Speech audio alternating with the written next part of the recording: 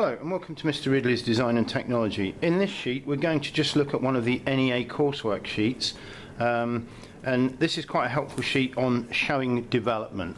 So we're calling this sheet um, Development Gantt Chart and on here this is a completed sheet we've got a grid with hours 16 hours going along here and then we've got tasks down here and this Gantt chart is used to show um, project, this project management or show movement in tasks. So we're going to kind of use it to plan out our making or show the making that we planned.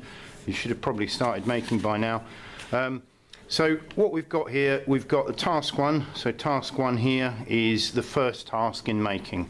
So if you can read that, it says um, task one, and we've got um, sandal parts, mark out legs using tri-square, steel ruler and pencil.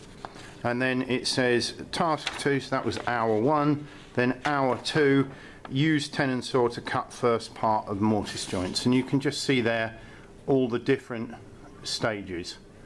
So how does it work? Well, basically here you write in a brief technical description, what you, what you did or what you plan to do, and then you work out how many hours it would take. So um, you can see here where we got down here to sand. This is for someone making a table. Um, you can see here, for example, where someone um, got to here, hour six. In hour six, they actually completed three tasks. So you can see one, two, three in hour six, and in that time they um, sanded the uh, fitting joints for the stretchers, marked out parts for the tabletop frame, marked out and cut parts for the drawer from plywood. So they were all done in hour six. It may be that you took two hours to do something, in which case you would have two blocks that way. Um, and, and that's it. It's a very simple Gantt chart for building projects where you had different tradesmen, they might use different colours, but we're just going to use one colour.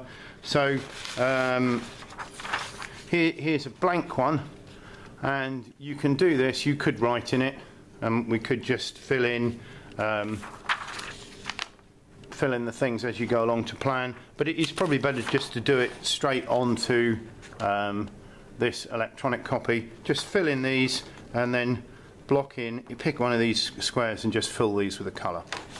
So that is Gantt chart for GCSE NEA.